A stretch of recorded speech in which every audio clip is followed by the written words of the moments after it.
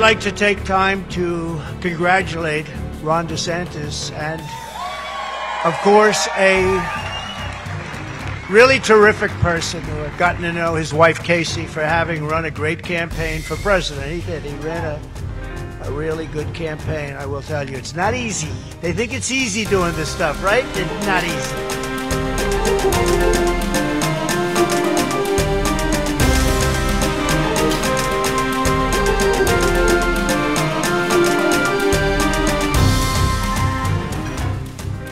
I am today suspending my campaign.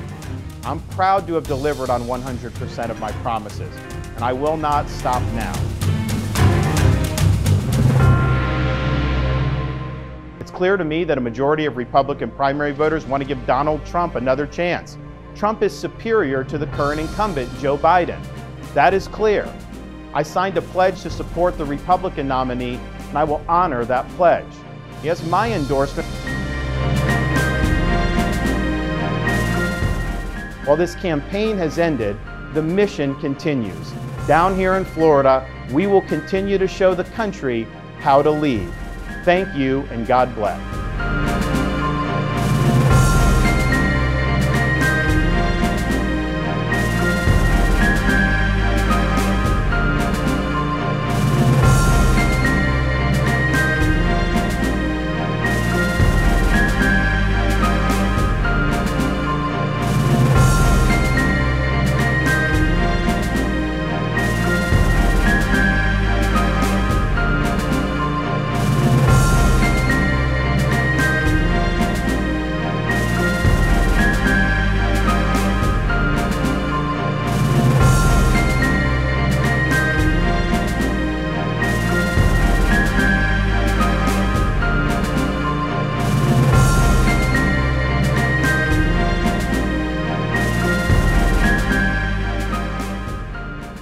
I'd like to take time to congratulate Ron DeSantis and, of course, a really terrific person who I've gotten to know his wife Casey for having run a great campaign for president. He did. He ran a, a really good campaign, I will tell you. It's not easy.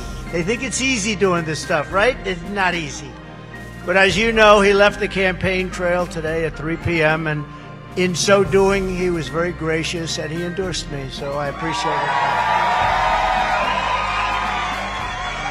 I appreciate that, and I also look forward to working with Ron and everybody else to defeat crooked Joe Biden. We will have to get him out. We have to get him out.